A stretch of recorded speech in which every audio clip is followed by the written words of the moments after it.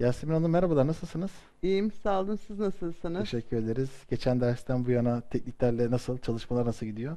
Süper, çok güzel gidiyor. Ee, bugün sizinle bir uygulamada çalışacağız. Ee, ben bununla ilgili birkaç soru sormak istiyorum size. Ee, önce bir hazırlık yaptık eğitimden önce çapalarla ilgili.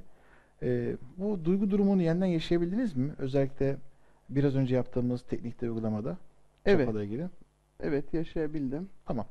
Ee, onu kullanabiliriz isterseniz. Yani o çapayı kullanabiliriz.